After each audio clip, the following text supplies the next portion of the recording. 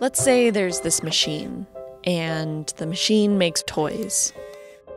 The machine makes red toys, and the machine makes blue toys.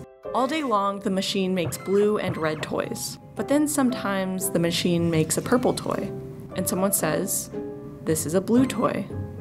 Because this machine only makes blue or red toys. So the purple toy is a blue toy. But then sometimes the machine makes another purple toy, and someone says, This is a red toy. Because this machine only makes blue or red toys. So the purple toys try to fit in. But one day someone says, maybe this machine also makes purple toys. And everyone stops for a second. Because the world's been built with the understanding that the machine only makes blue toys or red toys. Blue toys are mad because there may be purple toys among them. Red toys too.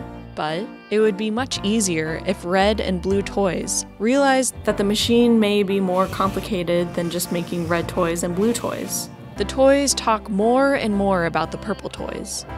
And slowly, considerations are made for purple toys. Red toys and blue toys and purple toys start to understand one another.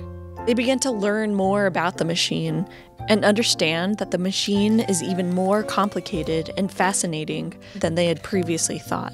So they celebrate this blue toys and red toys and purple toys together.